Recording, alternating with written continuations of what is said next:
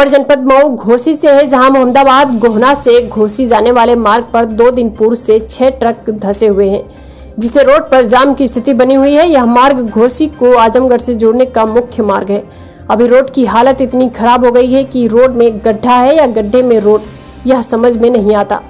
इस रोड की स्थिति के बारे में बराबर समाचार पत्रों न्यूज़ चैनलों के माध्यम से शासन को अवगत कराया जाता रहा, परंतु अभी तक इस मार्ग की स्थिति में कोई सुधार नहीं आया।